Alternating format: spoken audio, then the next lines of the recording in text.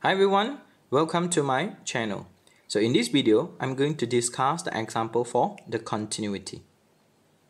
The function f is defined as follow, where we have the piecewise function. Determine the continuity of the function at x equals to 3. So before we begin the discussion, kindly focus on the definition. Based on the definition, we have the modulus of 3 minus x. Where we have the definition, 3 minus x. For the domain, 3 minus x greater equals to 0. Next, negative bracket 3 minus x, where we have the domain 3 minus x less than 0. So that is the definition for the modulus, or we can say the absolute value. So rewrite the situation. 3 minus x is equals to 3 minus x, where we have the domain x is less than equals to 3. If we have a negative bracket 3 minus x and the domain will be x greater than 3. So kindly illustrate the situation in a number line. So now we are going to locate the value 3. Kindly observe to the piecewise function. Let's focus on x less than 3. So meaning that we will have the function x squared minus 9 on the left. Next, focus on when x equals to 3. So we will have the function 0. The third one will be x greater than 3.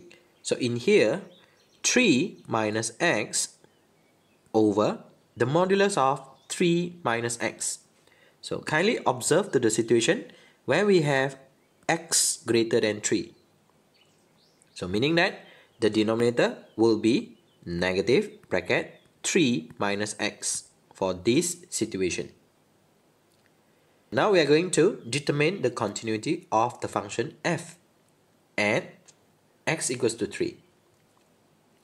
Condition number 1 f3 so kindly refers to the number line if f3 the value of x is 3 and the value of y will be 0 Second step, does the limit exist when x equals to 3?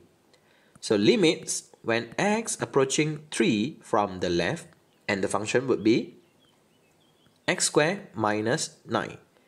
Kindly substitute the value 3 into the function and we will obtain value of y approaching 0.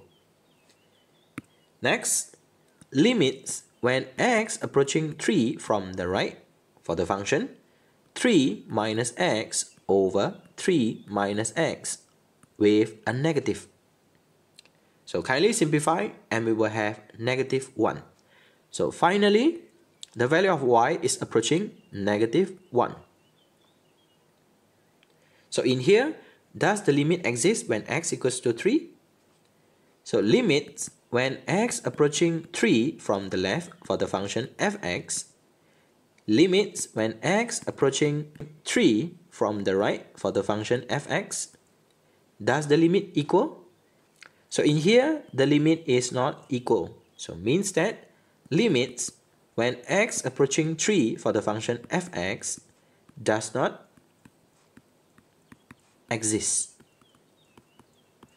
Since does not exist, so meaning that the function for f is this continuous